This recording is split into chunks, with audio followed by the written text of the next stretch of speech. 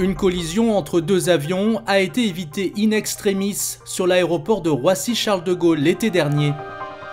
Après un an d'enquête, le BEA vient de publier son rapport final. Voici ce qu'il s'est passé. Ce jour-là, à 7h16, un Boeing 787 de United Airlines avec 73 personnes à bord est en approche. La tour de contrôle vient de l'autoriser à se poser sur la piste 9 droite. Sauf que sur cette même piste, un A320 d'EasyJet vient lui d'être autorisé à décoller.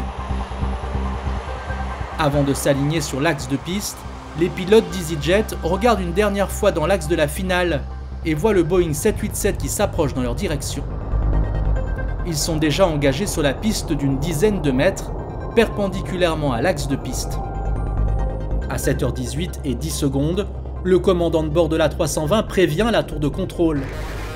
À 7h18 et 14 secondes, il demande aux pilotes du Boeing 787 d'interrompre leur atterrissage. À 7h18 et 19 secondes, le commandant de bord du 787 remet les gaz, il n'est qu'à 25 mètres du sol. C'est alors que la tour de contrôle lui demande de remonter à 1200 mètres. Le Boeing passe alors à moins de 100 mètres au-dessus de l'Airbus. Il viendra se poser sans encombre quelques minutes plus tard sur la piste 9 gauche cette fois.